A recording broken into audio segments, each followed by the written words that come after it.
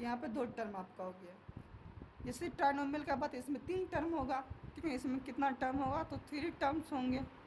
कौन सा जैसे एग्जांपल ले तो टू एक्स हो गया प्लस वाई प्लस सिक्स तो यहाँ पे देखिए तीन टर्म है। एक टर्म ये हो गया टू एक्स दूसरा टर्म वाई हो गया कनेक्टेड है प्लस से।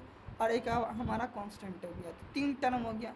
तो जिस एल्जेब्रिक एक्सप्रेशन में तीन टर्म हो तो उसको बोलेंगे ट्राइनोमियल क्वाड्रिनोमियल में सिंपल चार टर्म होना चाहिए। जैसे कि अगर इस क्वाड्रिनोमियल के नीचे एग्जांपल ले लेते हैं। अगर क्वाड्रिनोमियल का एग्जांपल है, जैसे हो गया two X Y plus six X plus Y plus six इसमें देखिए एक, दो, तीन, चार टर्म है। इसको बोलते हैं क्वाड्रिनोमियल अब पोलिनोमियल क्या होता है? जिसमें दो या दो से ज़्यादा टर्म हो। एटलीस्ट इसमें टू टर्म होना चाहिए। एटलीस्ट इसमें टू टर्म होना चाहिए तो उसको बोलेंगे पोलिनोमियल और दो से ज़्यादा टर्म हो सकता है।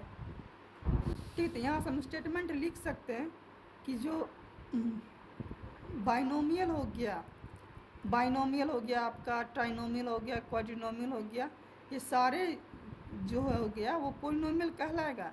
लेकिन मोनोमियल जो है वो पोलिनोमियल नहीं कहलाएगा क्यों?